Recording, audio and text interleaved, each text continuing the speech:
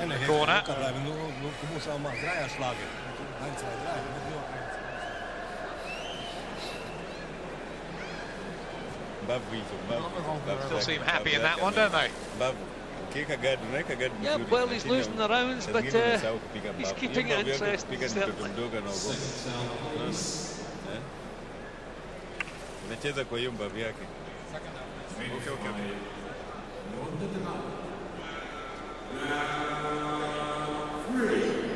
Third of four here. Gabor Veto hoping to end what would have been a very successful first year as a pro with another win. Opponent tonight, Obote Ameme, visitor from Tanzania. Fight number 60. Fought Rey Bautista along the way. David Kilu as well. Two other names scattered through that long record. How good is Veto? Certainly good coming forward. I mean, they've crammed a lot of fights into his first year as a pro, so we have to remember that it's only been a year. Some of what he does is pretty impressive. Just now and again, he, he loses his way and allows Ameme to take charge a little bit. This is good. Moving forward, stepping in with the punches, being the boss.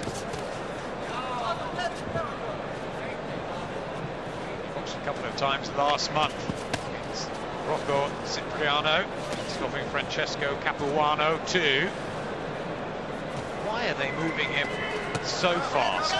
Is that good at 20? I mean, it's quite possible maybe a little rest is what he needs. I mean, you can uh, just be overworked. I mean, obviously, if he's boxing as often as this 12 times uh, in 10 months, then he's never out of the gymnasium. So you become a little bit fed up. Sometimes you have to recharge the batteries. But uh, over the four round distance, and, and I suppose he must be bursting with ambition at the start of his career. But he's boxing well again now. Good in the opening round, flat spot in the second round, but then he's uh, revving things up again now. Arcing right hands. Well, Gabor Veto. He needs the room with those long arms. Utilising the ring there.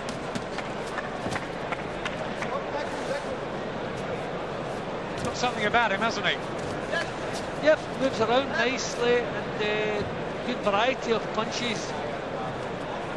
The same snap in the punches at the moment. He's breathing a little bit heavy.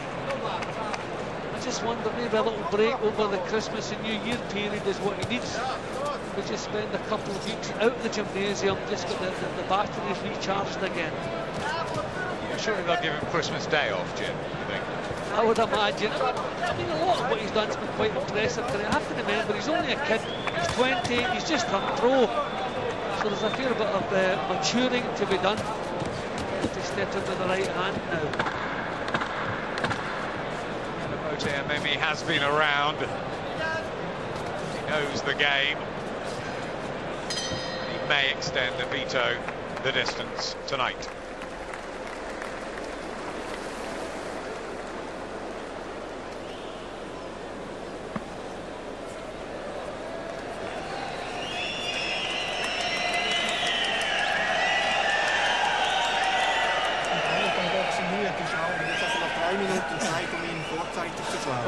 What would you be saying to him in the corner at this stage? Jetzt schlägst du nur noch Just keep it tight, mehr. keep the defence as tight as he's been doing, and uh, step in with the punches and try for the, the remainder. Wenn er, wenn er vorwärts the- the last round. schlägst du ihn gleich richtig Keep und du Ameme gehst on his back foot. Drei That way, Veto will really be in charge. It's when he allows Ameme to come forward that sometimes he gets a little bit scrappy.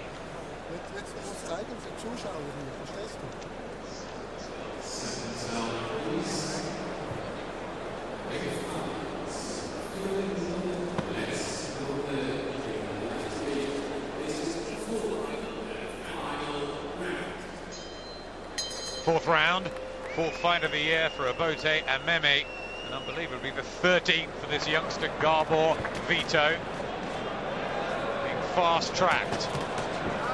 Started extremely well and positively in the opener. Can he finish in style.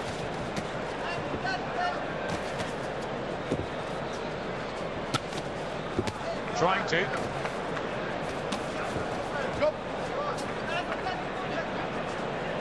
Maybe just with his head dangerously. I mean, this is good from Veto. He's stepping forward, meeting Ameme head on, not allowing them push forward. This is better. Good body shots too. Not a great deal of power on them, but placing them nicely.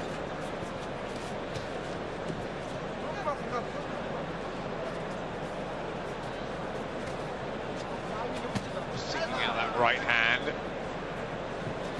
Meme covering up, blocking some of these.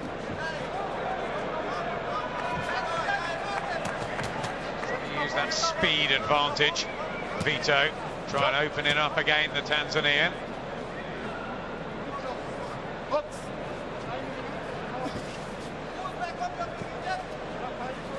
Body shots, that's sensible in the final round.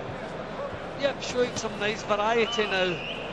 We have to just keep in mind that he's only a kid, he's only 20, this is his first year as a pro.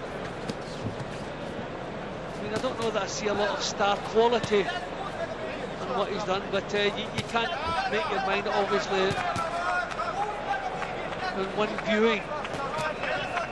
He does stand tall, amateur traits.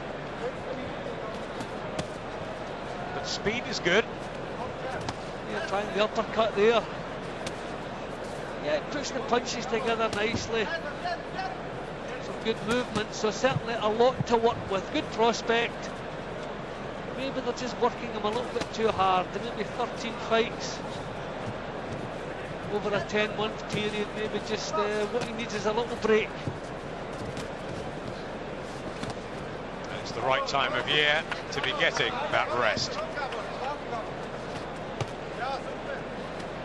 Both working hard, and they have done throughout this short four-rounder.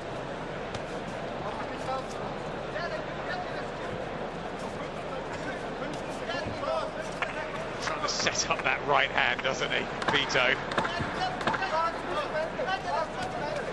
Bit scrappy with some of the combinations that were cleaner earlier on. And Ameme survives to the final bell. Good work out there for uh, Gabor Veto. Celebrates. He will remain unbeaten. And it's been a, a good first professional year. Yep, uh, another fight that's uh, gone the distance, which is maybe good news for him as well. Maybe he's having things too much his own way with the 10 stoppages, but he had to work to get his victory tonight, and that's the kind of matches you like for young fighters at this stage in their career. Punching was crisp in the first couple of rounds. Maybe lost some of the snap uh, uh, as the rounds went by. But uh, a good victory nevertheless.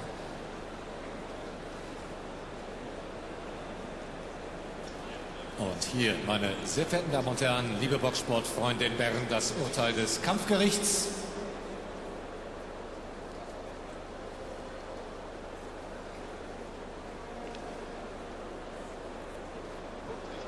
Punktrichter Beat Hausermann wertet den Kampf 40 zu 36.